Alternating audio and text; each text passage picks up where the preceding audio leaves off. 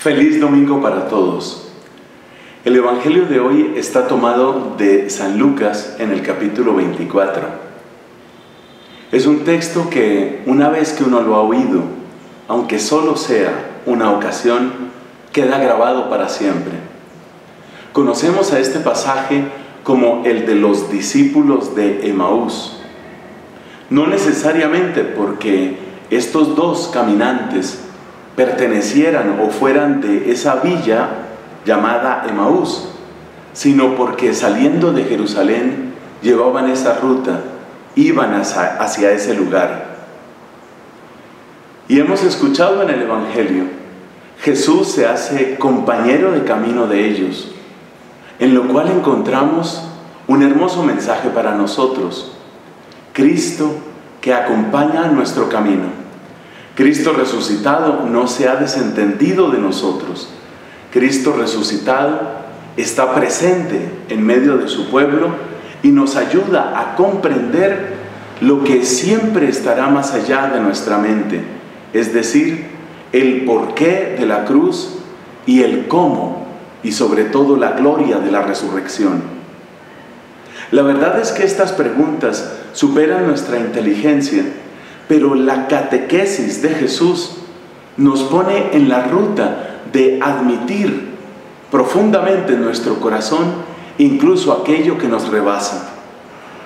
Lo mismo que un niño que va confiado de la mano del papá, así también nosotros, aunque no entendemos completamente por qué tanto sufrimiento y aunque no entendemos completamente cómo es la gloria de la Pascua, de la mano de Jesucristo aprendemos a aceptar que efectivamente el sufrimiento es fecundo y que su fecundidad es precisamente la gloria de la resurrección.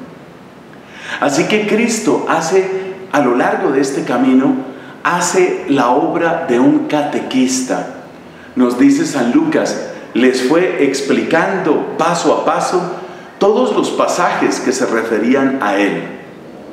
La catequesis de Cristo, sin embargo, no termina únicamente con los textos. Cuando se sientan a la mesa, habiendo llegado ya a la población de Emaús, Él parte el pan y al repartirlo lo reconocen. Sucede entonces algo que puede parecernos extraño. Cuando lo reconocen, precisamente en ese momento, se desaparece de sus ojos. Entonces ellos comentan, nuestro corazón ardía mientras nos iba explicando las escrituras. Y a esa hora de la noche se ponen en camino de vuelta a Jerusalén para dar testimonio de lo que han encontrado y para volver a la comunidad creyente. Efectivamente, la desilusión ante la cruz había producido una especie de dispersión. El encuentro con el resucitado vuelve a congregar a los creyentes en una sola comunidad que con júbilo proclama, es verdad, el Señor ha resucitado. Pero vuelve la pregunta, ¿por qué se desaparece después de que le reconocen?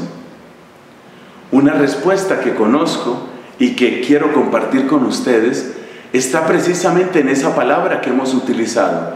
Cristo es el gran maestro, Cristo es el gran catequista.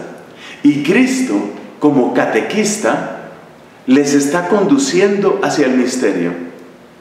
Lo reconocen y Él desaparece, pero su presencia viva queda con ellos y su presencia viva está en ese pan compartido.